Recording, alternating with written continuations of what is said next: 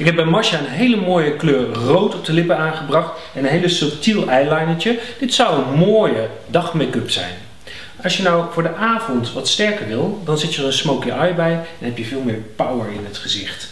Nou, zijn er geen regels, alleen maar opties. En zeggen ze inderdaad altijd, je moet één accent in het gezicht leggen. Dus of op de lippen of op de ogen. En daar heb ik helemaal in. Ja, Oh. ik doe dat ook soms hoor. Gewoon Ja. felle lippen, smoky. Ja, Ja. kan je uitschelen. Ja. En het eh, kan heel mooi zijn. Ik doe, zal heel weinig eh, verder op eh, de blush doen, maar wel echt een accent op ogen en op lippen. Want Mas, je hoort wel eens hè, van oh, smoky eye, dat is gewoon oogschaduw op het oog aanbrengen. Mhm. Ja, Kijk zo nog alsjeblieft. van donker naar licht toch? Ja. Dat is een beetje, dat het, alsof het echt rook is dat omhoog komt. Ja. Inderdaad, zo donker mogelijk aan de aanzet van het oog. Mag je even sluiten en helemaal omlijnen. Zo. Andere oog. En het voordeel van een smoky eye is dat je dat helemaal niet zo heel netjes hoeft te doen. Omhoog kijken alsjeblieft. En draai een heel klein beetje zo. Dit is een belangrijk hoekje, dat vogelbekje. Om die op te vullen. En hem dan helemaal naar binnen toe aan te zitten. Heb je nou hele kleine ogen, dan is het misschien wel eens mooier om in het midden te stoppen en hem dan te vervagen. Maar jij kan hem zeker helemaal omlijnen. Zo. Zwart omlijnd en dan ga ik met een wit glanzend potlood ga ik bepaalde delen nog wat oplichten.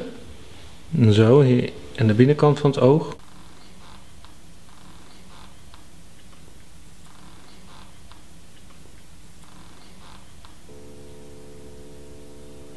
Je even sluiten, Mars.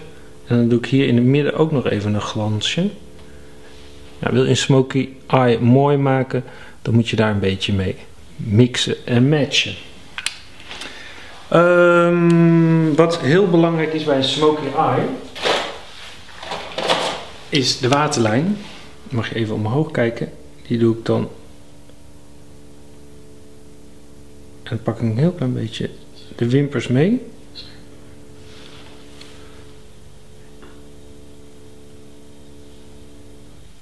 Zo.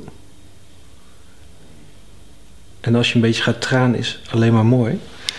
En wat ik dan altijd heel mooi vind is als je naar beneden kijkt Mars, dat je ook die bovenlijn pakt. Doe je dat ook altijd? Ja. Ja, helemaal naar binnen. Ah, Ja, en zeker als iemand anders het doet, hè? Ja, I know. I'm maar sorry. het vervaagt wel mooi altijd als je... Ja. Ja, en die oogcontouren worden zo mooi strak dan. Ja. Zo. En het is toch een smoky eye, dus niet ergens een beetje uitlopen. Nee, is juist mooi. Precies.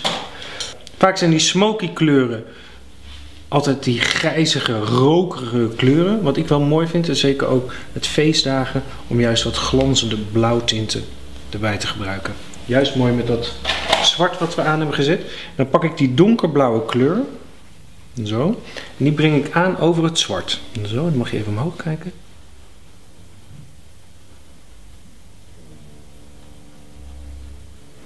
Dan ga ik de vorm van het oog neerzetten.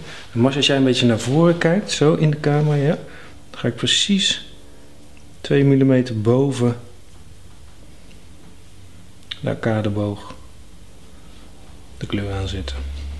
De arcadeboog is precies dat boogje als je naar voren kijkt, boven de vouw, zeg maar. Precies. Ja. Nou, precies. De, de plooi zit hier Mhm. en dan de arcadeboog zit hier. Dus dat wenkbrauwbot. Ja. En dan ga je net daarboven. Dus je vervaagt hem als het ware boven je arcadeboog. En dan kun je elke vorm erin maken die je zelf mooi vindt. Dit is een beetje de jaren 20 eh, look. Dan was je wat ronder. Eh, een paar jaar geleden hadden we echt dat kattige ogen. Dan waren ze heel strak naar buiten Ik toe. vind het rond mooi. Ik ook. Ja. Zeker bij jouw vorm oog is dat mooi. Ja?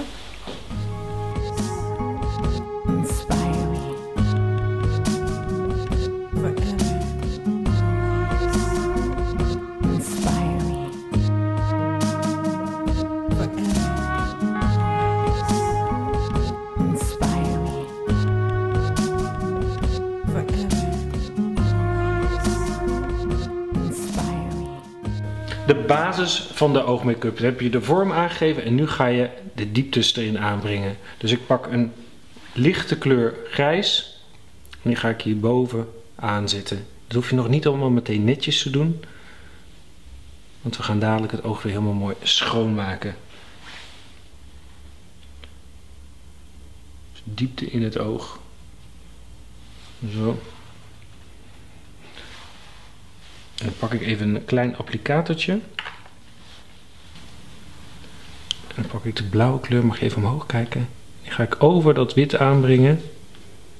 Zo. Smoky eye kun je zo gek maken als je zelf wilt, hè.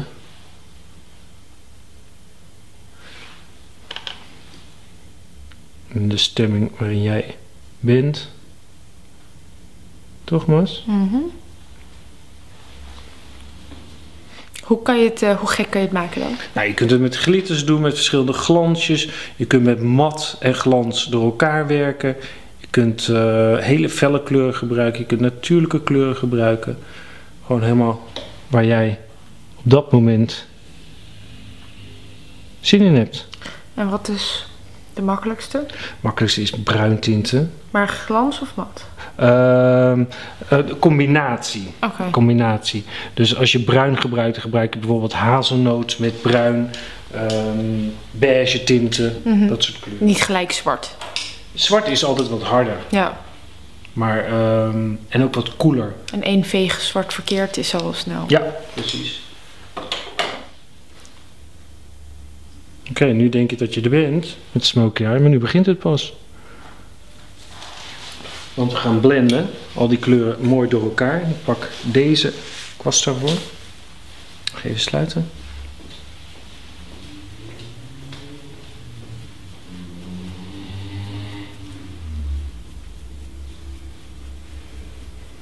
Dit is nog niet een look eh, die je dagelijks zou aanbrengen of waarmee je naar je werk zou gaan. Maar wel een look eh, die prachtig zou zijn bij kaarslicht. Mooi bij het kerstdiner. Oudjaarsavond. Noem nog eens iets moois. Ja. En zou je zo'n look dragen. Al- ja. Altijd als je er iets meer glamours uit wil zien, dan is uh, Smoky Eye goed, denk ik. Ja. Of als je denkt, ik heb niet echt een chique jurk, maar je hebt een gemiddelde jurk, of een strandjurk of zo. Doe je er Smoky Eyes bij, dan is het gelijk chic. ja.